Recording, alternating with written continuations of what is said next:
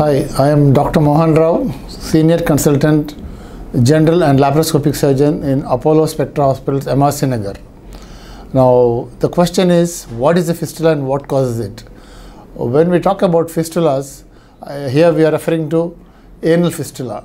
Basically, by definition, eh, fistulas are communication between uh, internal organ and uh, external to, to the outside. So, when you're talking anal fistula, it's a communication between the rectum and the anus, uh, rectum to the outside or from the anal ca- canal to the outside.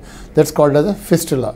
Now, what are the causes of fistula? Are basically primarily the cause of fistula is uh, whenever there is an infection in the anal glands, it forms an abscess. Abscess is a collection of pus, and this abscess can burst towards the outside, causing an external fistula, or it can uh, burst inside, causing a communication between the anus and the external, uh, or uh, the rectum and to the outside.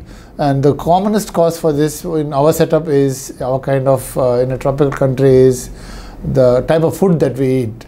Many times we end up eating what we think is a good food. It may not be hygienic food. It can produce infection in anal glands, which can become abscess and then burst to form anal fistulas. Thank you.